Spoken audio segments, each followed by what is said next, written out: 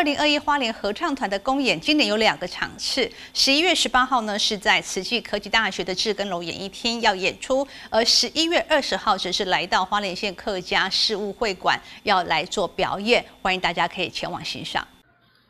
花莲合唱团在假日期间，则是继续在郭子旧纪念馆里一起来练习，为了就是要迎接十一月十八号在慈济科技大学志根楼演艺厅和十一月二十号在花莲县客家会馆的公演。花莲合唱团副团长叶日生表示，这次主题是以不易新冠肺炎疫情，全民共同来对抗，打开普罗大众心中郁闷，学会不绝望，影响健康快乐光明的未来。花莲合唱团每年年底都有一场。这个成果发表会，好，我们今年定了一个名称，叫做“戏曲人生”。好，二零二一年花莲合唱团的公演，为什么定做“戏曲戏曲人生”呢？因为我们中间有一个主题歌曲，啊，主题歌曲两首，其中一首是武侠连续剧的那个主题曲，包括啊用广东话唱的《楚留香》《楚柳红》《神雕侠侣》《倚天屠屠龙记》。啊，以及《笑傲江湖》也好，就说人类社会难免就会碰到一些类似像这样的疫情灾难，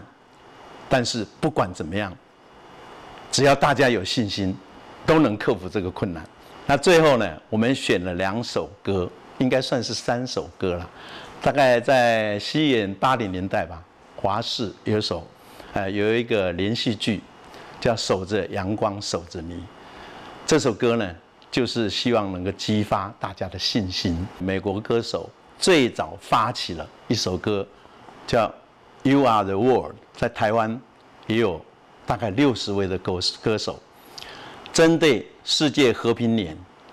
也发起了类似的运动。这两首歌呢，我们把它变成一个主曲，把爱找回来，明天一定会更好。那台北市刚才有办客家嘉年会。在三十周年的时候，他们就甄选了这首《报中战歌》啊，这首歌看起来是有爱国歌曲的味道，但是它里头充满着感情。这一次呢，比较特殊的就是原住民的歌曲部分，仍然请到了奇来合唱团，用泰鲁格族语诠释两首歌曲。第一首是圣经的歌曲，第二首呢就是描述原住民收获丰收。或者好朋友啊，亲爱的朋友们，大家一起的快乐的歌曲。为了服务大众，除了十一月十八号在慈济科技大学志根楼演艺厅演出之外，还特别安排在十一月二十号花莲客家会馆演艺堂表演。社区民众可以免费自由进场，客家会馆才免费收取进票。欢迎花莲乡亲前来分享团员一年来的努力的成果。二零二一年。戏曲人生，